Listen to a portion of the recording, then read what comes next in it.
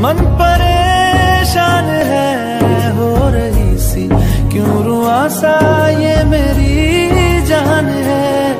क्यों निराशा से है? आस हारी हुई, क्यों सवालों का उठा सा दिल में तूफ़ान है? नैना, कभी जो